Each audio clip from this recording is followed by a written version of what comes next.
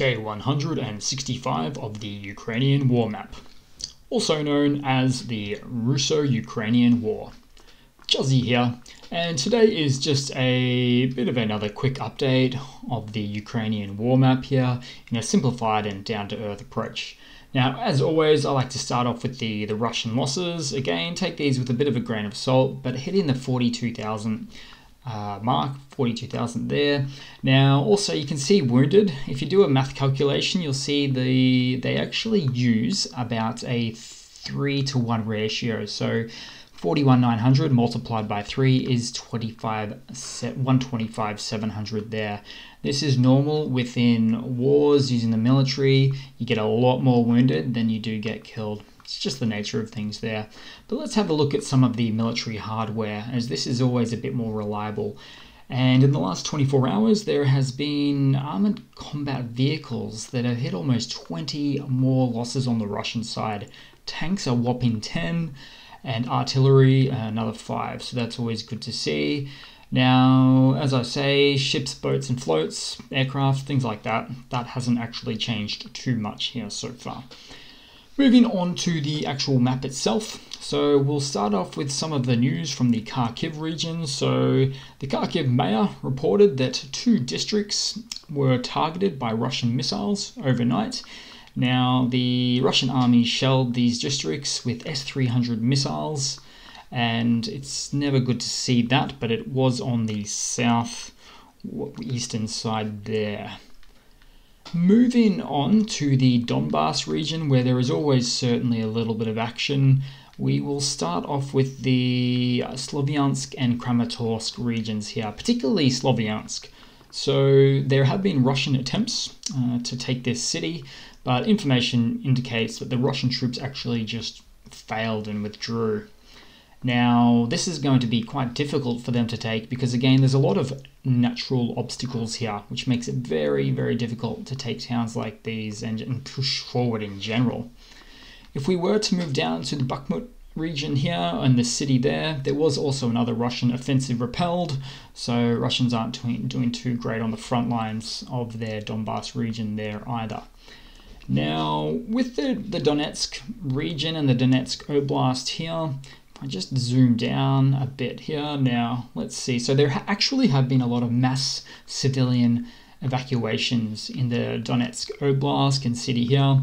Most of the, the 1.7 million people who live in this region around here have in fact been re- relocated, probably further east, I suspect, a lot further east. There's a lot of room to move, literally.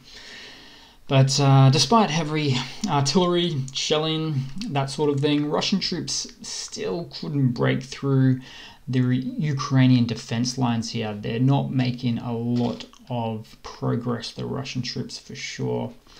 Also, within the Donetsk region in particular, you'll see a town here, the, the Shins, uh, I call it Shins there. Now, this Shinstown was, uh, there, there were in fact fires reported here deep behind the Russian em, em, sorry, deep behind the Russian enemy lines, if I can get my words out there today. It's hard to determine, though, as current, if these are just natural fires or supply depots, like military supply depots. Although I will tell you, about three or four weeks ago, there was a military supply depot destroyed by the Ukrainian army right here. So more information perhaps to follow there shortly there too. Back onto the front line though, we'll have a look at Pisky for a moment. So this is a small time, uh, town just outside the, the front lines here. Now, of course, Russia would love to get it because if you zoom in a little bit, it's actually sort of like a suburb, an outer suburb of the Donetsk city there. But uh, Ukrainians still control Pisky right here, despite Russian claims over the settlement.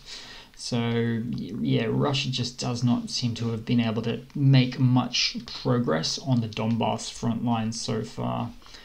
Let's zoom out and move down a little bit to the um, city here. Now, in fact, yesterday you might remember I've mentioned about Nikopol. There was a bit of shelling there. There was some shelling at Marhanets here uh, overnight, uh, of which it was just 50 or so private residences damaged.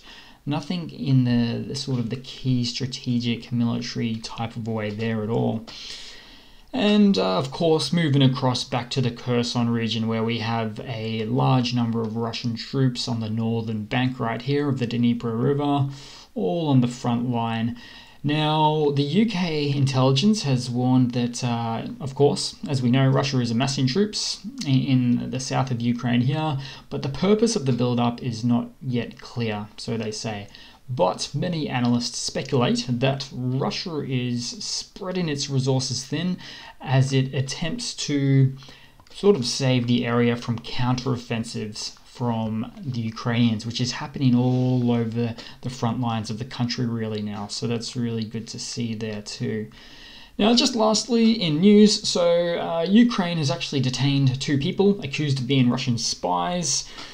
Now, uh, apparently, they've been providing Russia with coordinates for missile strikes in the Mykolaiv and Odessa regions, so around here, these spots here. This happens occasionally, and it's always nice to hear when people like this really, they really are uh, effectively spies, aren't they? Smoked out and detained. Now, moving a little bit back across to the Zaporizhia region uh, in terms of news. So, of course, the nuclear power plant has been fired on or shelled upon uh, by Russia, and the EU has accused Russia of breaching safety rules after rockets uh, damaged part of the uh, nuclear power plant there, right here, in fact. And uh, there is, in fact, a bit of a build-up of Russian troops here as well. So, and the, the photo shows that here. But uh, what seems to have happened is there was a building and power lines that were affected at the nuclear power plant, uh, which is not great for any nuclear power plant because it does need power to keep the reactors cool and things of that nature there.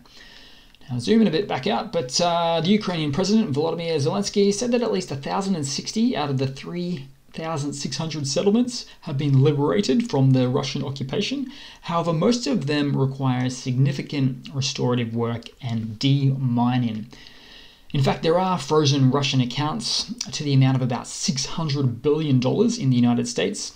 And after all is said and done with the war, this money is likely to be reallocated to the restoration of Ukraine, which is a nice kind of a creative solution to a, to a war problem. But that's about it for now, guys. Just keeping it quick and simple today, as I say every day, but it does drag on. Apologies for that one. But um, thanks for watching. Please leave a comment, subscribe. Don't worry about the trolls in the comments. Show them who's who. Give me a like. And yeah, I do hope to see all of you guys there in the next one. Cheers.